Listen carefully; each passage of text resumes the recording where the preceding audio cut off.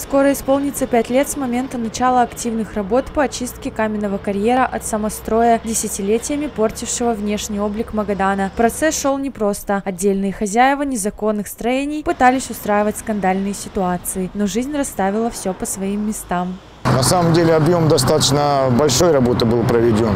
Можно это сравнить в цифрах. А, например, в самом начале, когда мы готовили постановление о сносе, это у нас постановление было 2457 от 11 августа 2016 года, вся работа началась действительно, а, было у нас 67 э, объектов.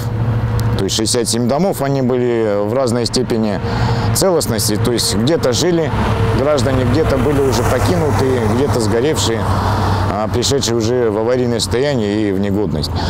Но в первую очередь мы убрали большую часть э, тех, кто, те строения, которые были разрушены. И пришли к тому, что вот на сегодняшний день мы снесли 55 домов.